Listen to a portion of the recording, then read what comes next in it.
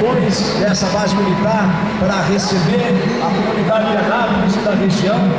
Vocês podem,